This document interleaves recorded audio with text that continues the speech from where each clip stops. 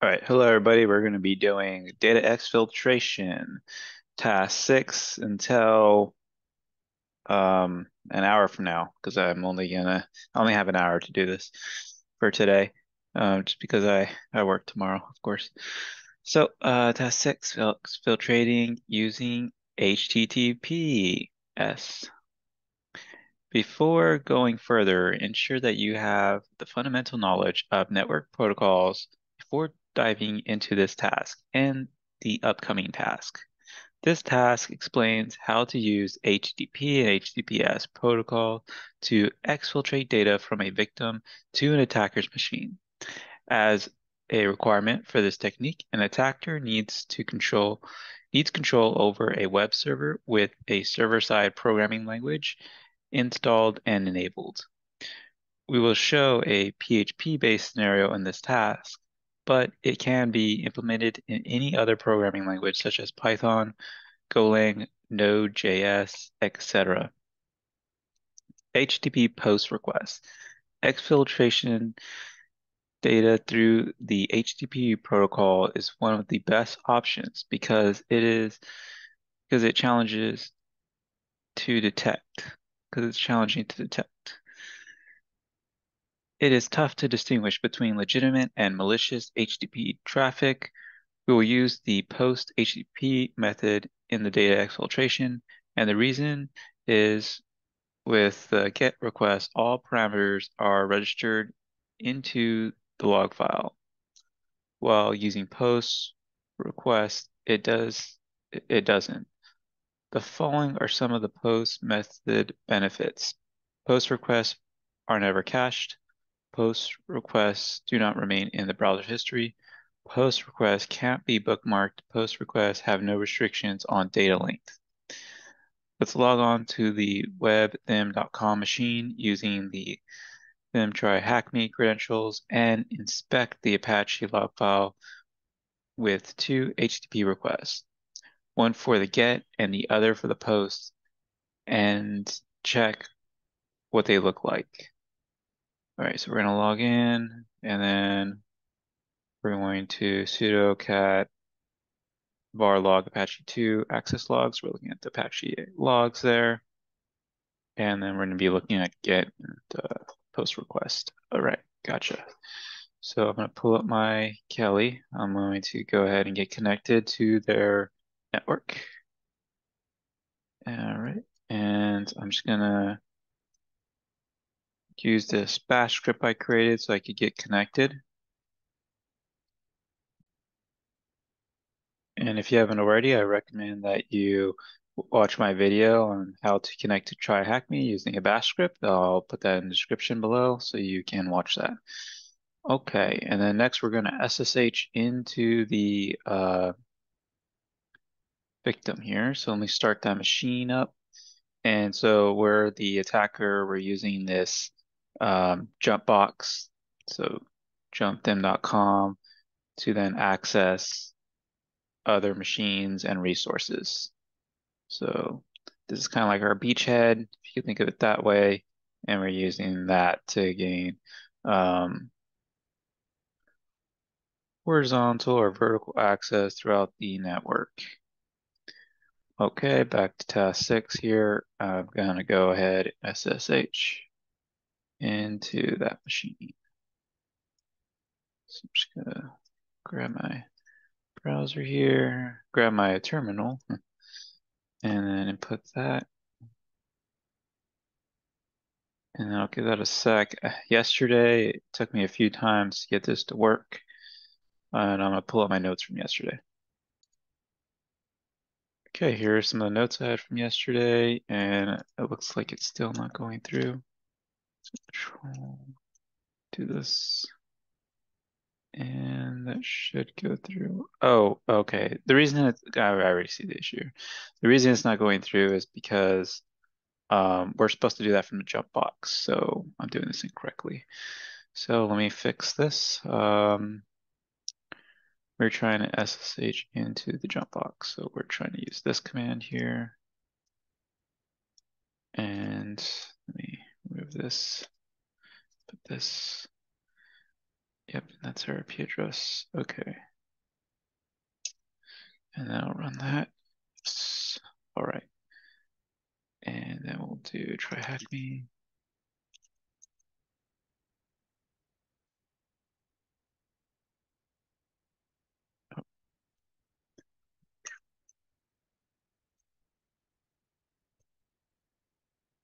There we go.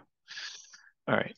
And um, what I'm going to do is I'm just going to take notes here. So this is my jump box here. Copy that. And I'm just going to annotate that.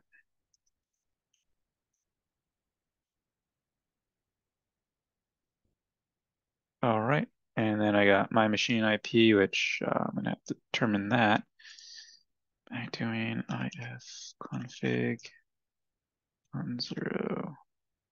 I believe. Or actually, I think it's, that's, no, I don't think that's actually it. if config. Yeah, okay, yeah, I guess that is it. Okay, cool. So then I got my IP address here.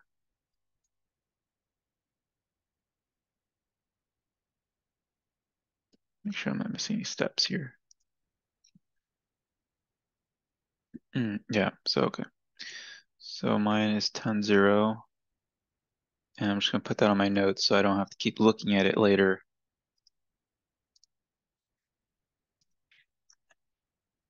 Okay.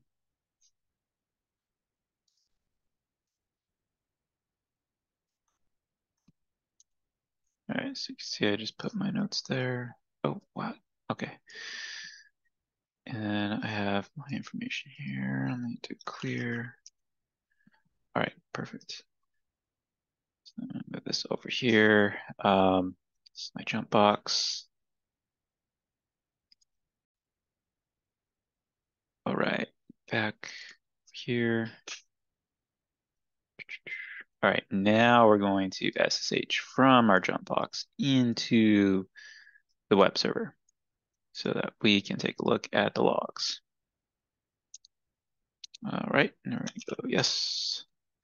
And then the password should be the same, try hack me. All right, now we've gone from the jump box here to the web server here. And uh, we are going to run the sudo cat var log apache. All right, and we'll just input that there. And it's asking for the password, so I'm going to type Troy hack me. Hopefully that works, and it does. Okay, great. All right, and then we'll just read through this. Obviously, the first line is a GET request with the file parameter with exfiltrate data. Okay. If you try to decode it using the base64 encoding, you'll get the transmitted data, which in this case is them try hack me. Well, the second request is post to example.php. Okay, yep, we got example.php, and then here we have some file and base64 encoding. Okay. We send the same base64 data, but it doesn't show what data was transmitted. Okay. Base64 data in your access log looks different, doesn't it? Decode it to find the flag for question one below. All right, let's do it. So here's the flag, and I'm just going to take this, so everything after the equal sign, and I'm going to run it through a base64 decoder.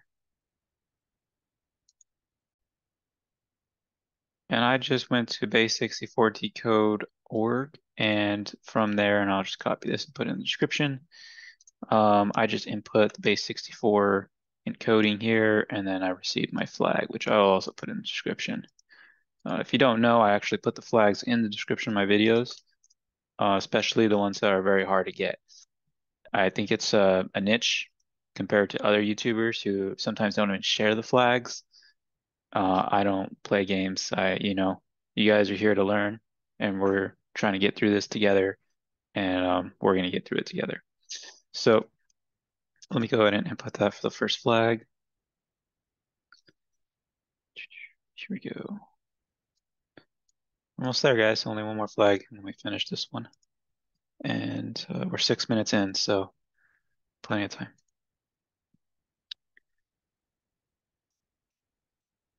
Okay, and actually we're 10 minutes in.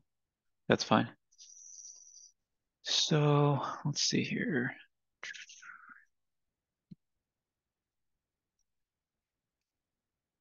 So we got the first flag.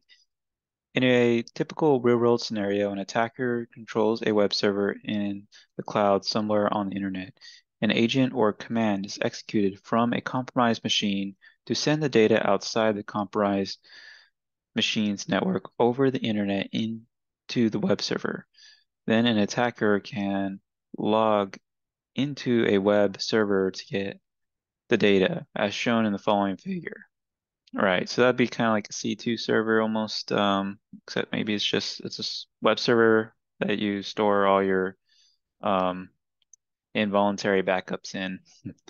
all right, so HTTP data exfiltration. Based on the attacker configuration, we can set up either HTTP or HTTPS, the encrypted version of HTTP. We also need a PHP page that handles the post HTTP request sent to the server. We will be using the HTTP protocol, not the HTTPS in our scenario. Now, let's assume that an attacker controls the webthem.com server and sensitive data must be sent from the jump box or the victim's the, victim one them.com machine in our network 2 environment 192.168.0.0 slash 24. To exfil data over HTTP protocol, we can apply the following steps. An attacker sets up a web server with the data handler. In our case, it will be the will be webthem.com and the contact page contact PHP page as data handlers. Second, a C2 agent or an attacker sends the data. In our case, we will send data using the curl command. Okay. Third, the web server receives the data and stores it. In our case, the contact.php receives the post request and stores it into the temp directory. Fourth, the attacker logs into the web server to have a copy of the received data. Oh, okay. Let's follow and apply what we discussed in the previous steps. Remember, since we are using the HTTP protocol, the data will be sent in clear text. However, we will be using other techniques, Tor and Base64, to change the data stream format so that it will not be in a human readable format.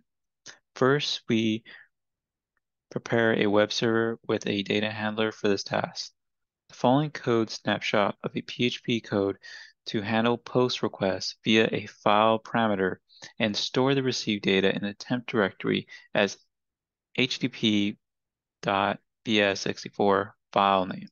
So PHP, and we have our uh, starting if is set post file then you're going to open the file uh, and then store it in that directory.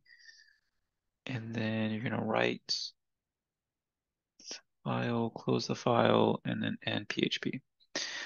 Now from the jump machine, connect to the victim1s.com machine, uh, victimthem.com machine via SSH to exfiltrate the required data over the HTTP protocol.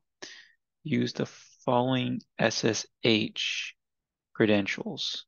Okay, so this is going to be a new uh, a new terminal. So we'll leave this one open because this is from the jump box to the web server. And instead now we will go from the uh, jump box to the uh, victim one machine. And so we can actually use uh, command that we use for for the jump box. So let me scroll up here, you can see this first one. Let's do our jump box and I can just, we're gonna be using this quite a bit. So I'm just gonna throw this here in my IP notes here so that I can quickly get to my jump box when I need to. And this is a new terminal, and I'm just gonna paste this in so we could get logged into our jump box. And it's gonna ask for your password, and I already have the password here in my notes. Again, another reason why you wanna take notes. Okay, and you can see right now I have it in a notepad. Um, however, I will be taking this and putting it on a OneNote document um, just because it allows me to search for it a lot easier later. So anyways, um, so here I am in the jump box. Now I'm trying to get to victim one. So I'm gonna SSH to victim one from our jump box. I'm gonna paste that in there. Oh, whoops. I accidentally fat fingered this. Oh, I did it again. I don't have fat fingers though. All right, there we go. So we're just gonna copy this and we're gonna paste it. And then we are in, we're in the victim one machine. All right, perfect. You can also connect to it from the attack box using port 2022 as followed. So we can go from our attack box just over to the uh, victim two machine. Is that part? Okay. The goal is to transfer the folder's content stored in the home them task 6 to another machine over the HTTP protocol. Okay, cool. So let's go ahead and LSL. And I'm to see what's in that directory. Actually, what directory are we in? Okay, so yeah, we're in that directory. Just, okay, so here we got task four. So we're trying to transfer task six stuff. Okay. Okay, cool.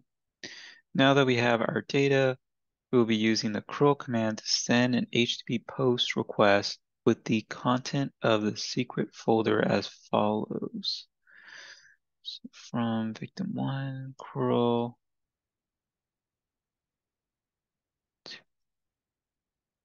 Okay, so we're sending this to our web server, to, to the web server we've compromised. So, okay, we'll just take that command in there. We'll just paste it, throw it in here. There we go. And you guys are still lucky you guys don't have to watch me type this out because I will have typos left and right. We use the curl command with the dash dash data argument to send a post request via the file parameter. Note that we created an archive file of the secret folder using the tar command. We also converted the output of the tar command into base64 representation. Next, from the victim1 or jumpbox machine, let's log into the web server and check the temp directory if we have successfully transferred the required data.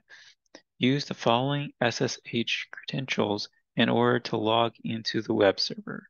Okay, so we're already logged into the web server from earlier, but uh, we're just going to go into the temp directory. So if you remember, I said, hey, we're going to leave the other uh, connection open from our jump box to the server. And so I'm just going to paste this in here and go over to our temp directory. See we have some base64 data in there waiting for us. Hmm. All right.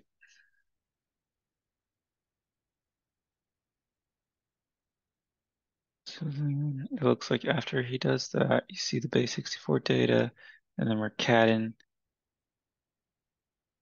canting that out so we can see it, and it's just base64 encoded. Next, from the victim one or Trumpbox machine, we'll log into the web server and check the temp directory. Okay, we did that.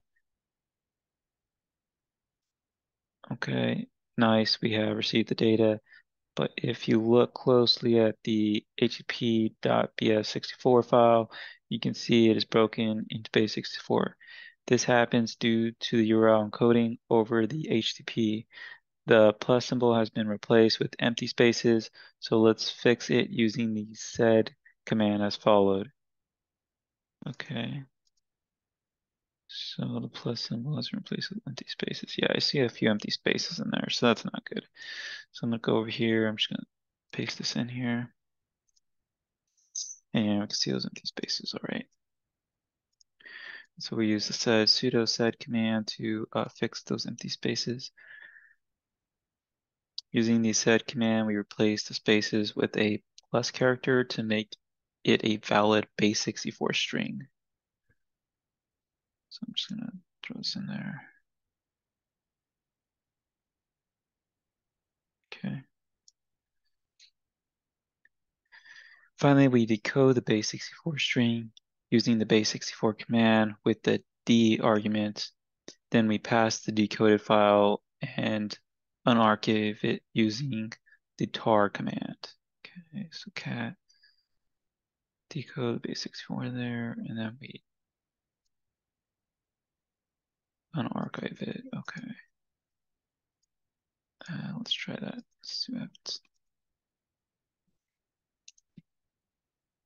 Oh no, it's not working. All right. tar f requires an argument. Huh. Ah, uh, I guess it's, we need this little dash afterwards. Okay.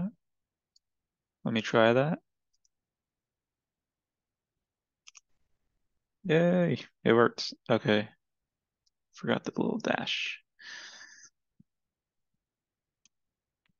HTTPS communication. In the previous section, we showed how to perform data exfiltration over HTTP protocol, which means all transmitted data will be in clear text. One of the benefits of HTTPS is encrypting the transmitted data using SSL keys stored on a server. And before we go into HTTPS, I'm ready to get the flag. I'm ready to get the flag, guys. Okay, actually, uh, I thought that would be our flag for uh, task six, but apparently not. So we just have to keep trucking with this one. All right. If you apply the same techniques we showed you previously on a web server with SSL enabled, then we can see that all transmitted data will be encrypted. We have set up our private HTTP server to show what that transmission looks like. If you're interested in setting up your own HTTP as server, we suggest visiting the DigitalOcean website. Well, let's visit it. How to create a self-signed SSL certificate for Apache. Very interesting, very interesting. Uh, too many steps, going back. As shown in the previous screenshots, we captured the network traffic and it seems that all client and server communication on port 443 are encrypted. Yeah, it's definitely encrypted. HTTP tunneling.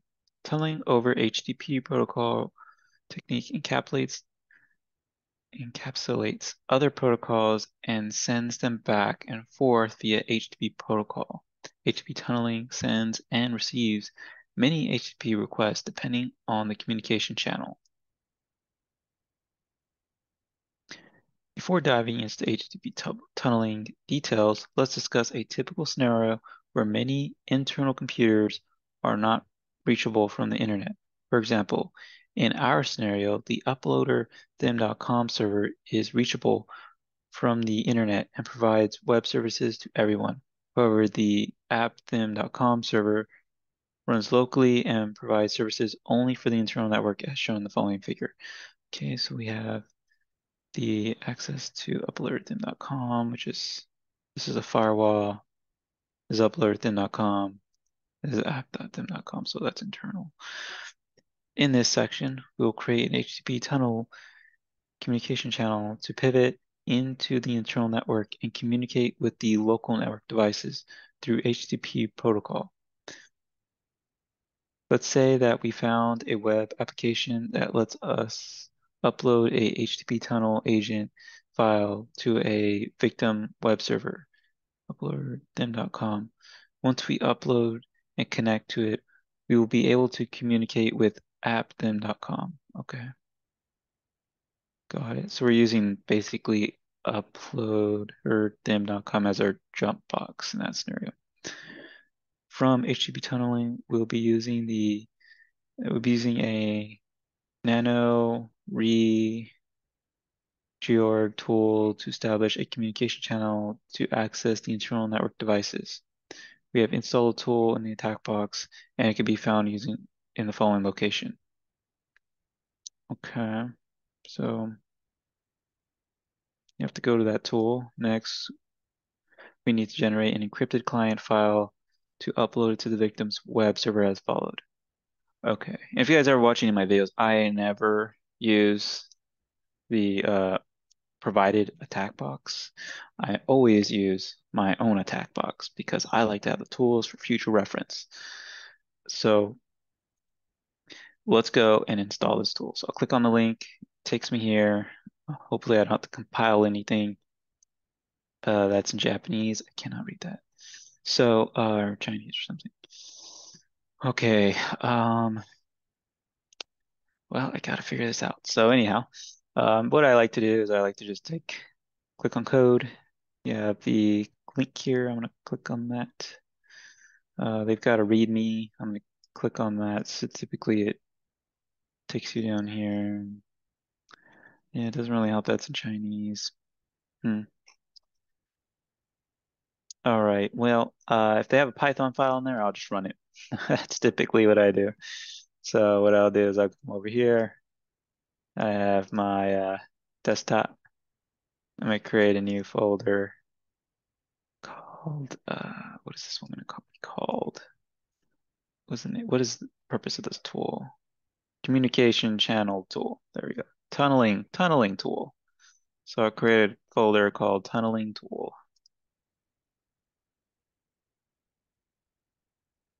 Http under slash tunneling.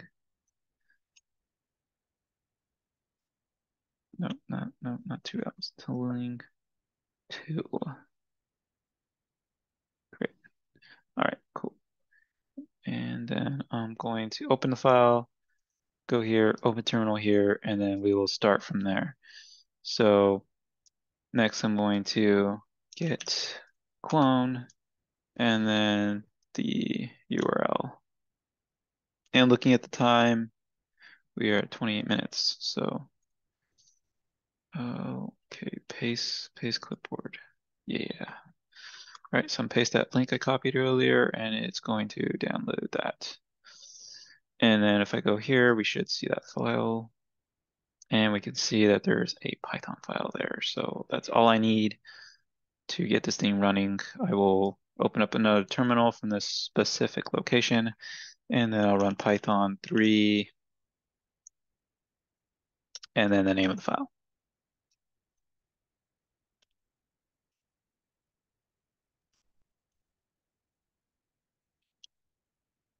And I'm gonna see if it works.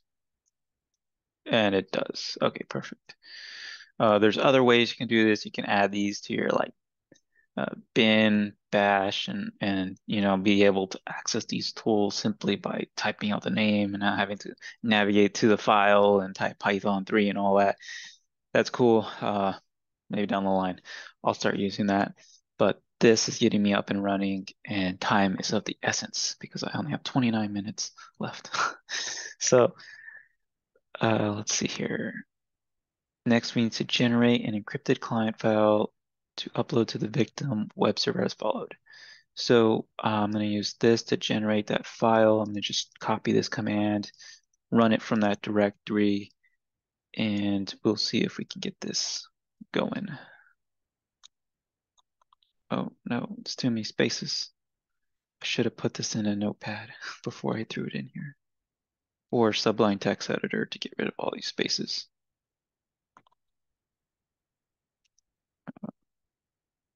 I hope that worked. I think it worked. All right, let's see what's next. Yeah, yeah, that looks about the same. It looks like it worked, guys. The previous command generates encrypted tunneling client with THM key in the nanoreg servers directory. Note that there are various extensions available, including PHP, ASPX for IIS servers, JSP, etc. In our scenario, we'll be uploading the tunneling PHP file via the uploader machine. To access the uploader machine, you can visit the following URL. Visit the URL and then upload our little file over there.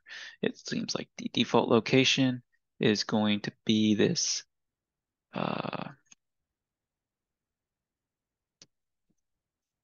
keys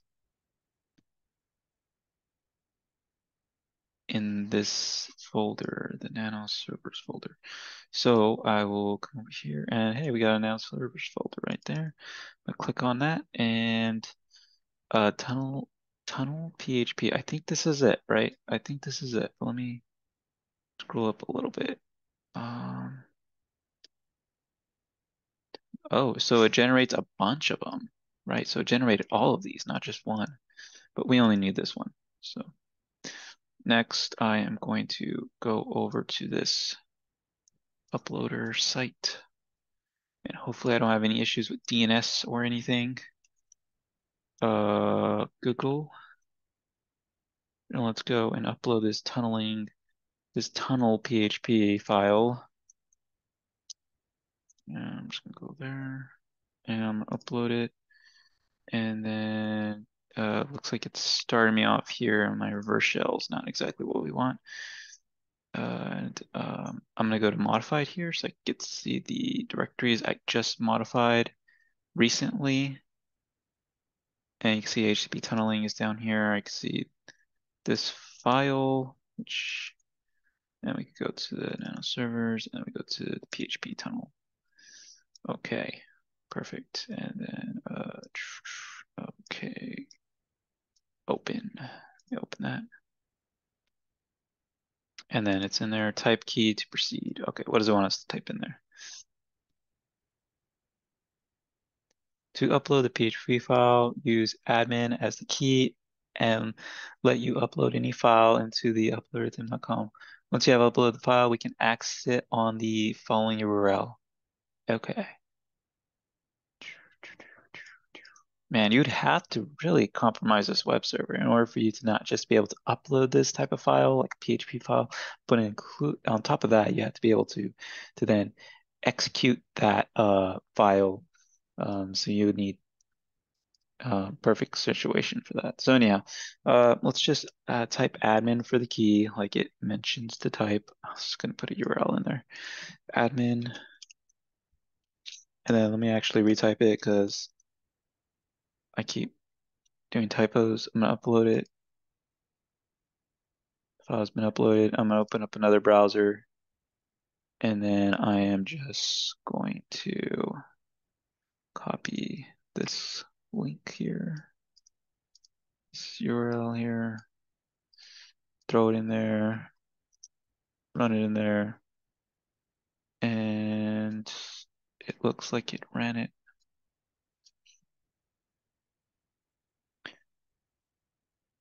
Okay, um, we need to use the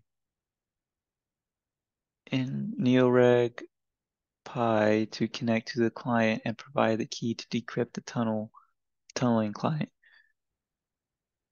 We also need to provide a URL to the PHP file that we uploaded on the uploader machine. Once it is connected to the tunneling client, we are ready to use the tunnel connection as a proxy binds our local machine of 127.0.0.1 on port 1080.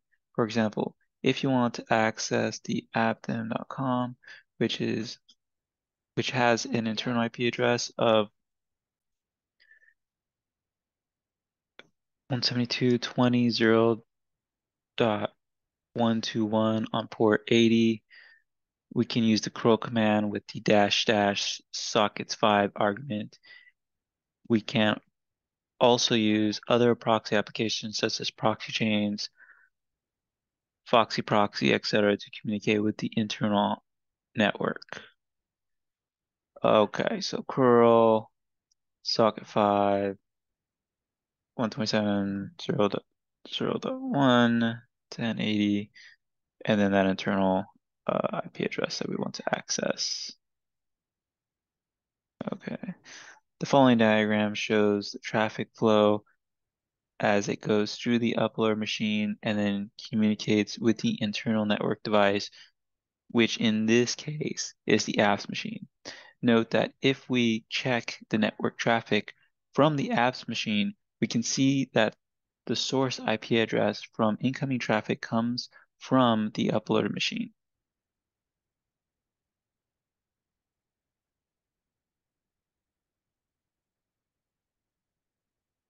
Hmm, okay. Now replicate the HTTP tunneling, tunneling step to establish tunneling over HTTP protocol to communicate with the flagthim.com with 172.20.120 as an IP address on port 80. Note that if you can, if you access the flagthim.com website from other machines within the network, you won't get the flag. Whoa. So uh, some of that went over my head, but uh, I think I think I kind of understand this. so uh, let's see here. 172 one. All right, so basically we have to go back to that Python command, run this so that we can connect from our TAC box to this uploader machine. And then you can establish that tunnel from the in this case like um, once you've established that tunnel using this command and the previous commands then you would curl to whatever internal IP address you wanted to access so I'm guessing that you use this internal IP address uh, in your curl commands uh, here so that you can try accessing it it didn't work for me earlier, so I don't really expect this to work, but I'll give it a shot, see if it works. And it wants us to do that over port 80. And um, scroll up here. Okay. And I'll give it a shot. Let's see. Curl command here.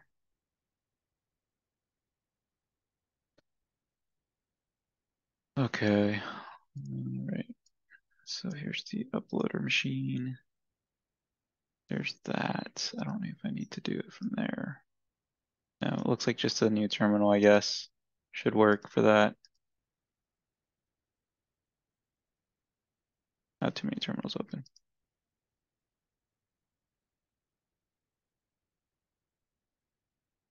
Trying to find out.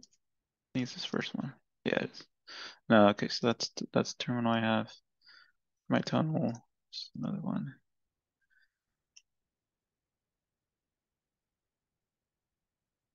Get your flag. Okay, so get your flag. Is that the flag?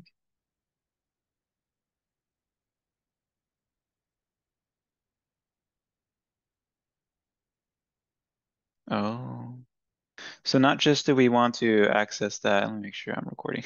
would suck if I wasn't. All right, but we want to access the flag directory, right? So uh, port 80 flag directory, right? So it'd be like that. And then I would basically input that in my curl command. See if it gets, oh, hey, we did it, guys. We did it. We did it. I wish we could all just get up on our chairs and see each other right now. That'd be great. So there it is. I figured this out. I figured this out. I have, you know, the brain of a monkey. So anyhow, over here, I put that baby in there. And we did this within an hour. Perfect. All right, guys. So we, we figured it out. We did it. Next, we're going to be doing task seven, eight, nine, 10. Okay, looking forward to that. All right, so we're done for now. Uh, let me show you something. So I'm to show you how I take my notes. Uh, if you watched my previous video, I showed you what they look like, how I use them. So essentially what I do is I have this OneNote and I have these tabs here and I have one for uh, red team. And then if you scroll down on the red team tab, you can see all the labs I completed. I've done the write-ups for them. And what I do is I like to get screenshots of what TryHackMe has on their site because it's clean. And then I like to copy over the actual commands, right? So the actual commands, so you could copy and paste those. So if I needed to transfer data in the future and I totally forget how to because I will, um, there's no way I'm going to remember all this stuff. I could go, I can see your transfer files. I have one for PowerShell. I have all these different transfer notes that I can just look at and get started on and, and decide how I want to transfer it. So if SSH isn't available, that's fine. I'll just use these other methods, right? So that's how I'd recommend you do it. Um, and just try to organize your notes. Um, post in the in the uh, comment section and just let me know how you do it, right? I'm curious. I really want to know, like, how do you guys take notes? I know there's some programs out there where, uh, you know, if you're doing like a CTF or even a real world um, red team test, there's like certain apps out there. And I, I might have a few of those on my Kali. Um, considering I did the TCM uh, security course, I, I did like their basic one. So uh, he he teaches how to like use different note taking um, software and, and apps. And, and I, I have some of them on my Kali box. I just don't use them as much because I'm still doing like the easy CTS, holding your hands type stuff. Like this is this is super easy, right? They're holding your hand, they're giving you the instructions, they're providing you the commands. And I want to develop that foundation so that eventually uh, I could figure this stuff out on my own. Go from hold holding your hand to okay, easy without holding your hand, right? And then medium holding your hand, and medium without holding your hand, and then continue on until I'm ready to for the OSCP eventually. Um, so I'm going to copy this. I'm going to throw this in my notes. I will post this in the description of the video. And if you're still using the attack box that they provide you, please stop using it. I'm going to post a video in the description showing you how to set up your own attack box. Do us all a favor and set up your own attack box. Stop using the one that they give you. Okay, enough of me rambling. I'm uh, ready to go. All right, have a good one. Over now.